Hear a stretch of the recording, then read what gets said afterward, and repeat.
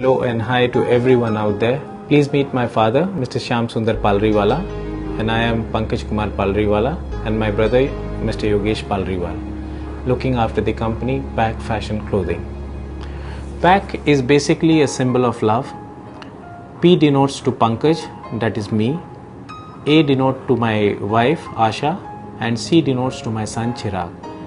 So we are packed together as a company, and we are packed together as a family as well. Our company exists for the last 27 years, basically in the international market, and we are selling gowns and dresses to leading international designer houses. With the Indian style, we have come in the market for quite some time.